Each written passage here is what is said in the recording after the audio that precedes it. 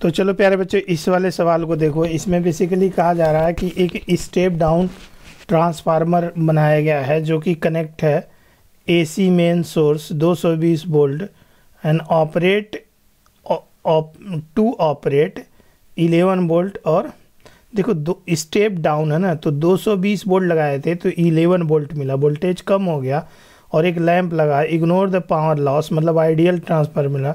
What is current in primary देखो, सबसे पहले अगर मैं इस क्वेश्चन को सॉल्व करता हूँ तो मैं स्टेप डाउन ट्रांसफार्मर बनाता हूँ। स्टेप डाउन ट्रांसफार्मर वो होते हैं जिसमें नंबर ऑफ़ टर्न्स जो है इधर कम होता है, ठीक है ना?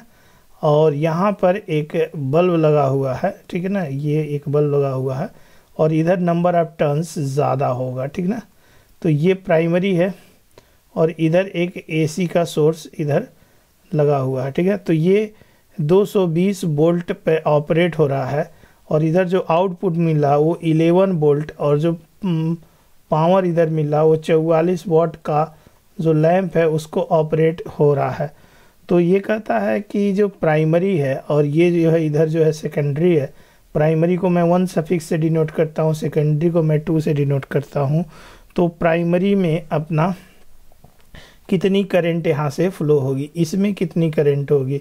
ठीक है? तो कहता है कि सिंस आइडियल है ट्रांसफार्मर इज़ आइडियल आइडियल यहाँ से ट्रांसफार्मर है। So power loss is loss is zero loss is zero power loss zero होता है। मतलब जितना आप पावर दोगे इनपुट उतना पावर आउटपुट आओगा। मतलब power in first power in second के बराबर होगा।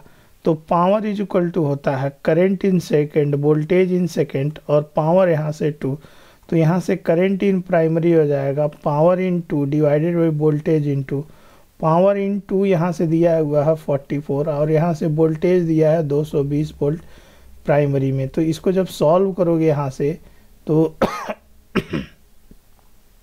यहाँ से ये कट जाएगा आ, हाँ यहाँ से कट जाएगा टू टाइम्स टू टाइम्स यहाँ कट जाएगा तो two by ten two by ten मतलब ये आता है ज़ीरो पॉइंट वन एम्पियर इसमें करंट फ्लो होगी, ठीक ना? इस वाले करंट मतलब ज़ीरो पॉइंट टू मतलब यहाँ से सेकेंड ऑप्शन सही हो जाता है। Thank you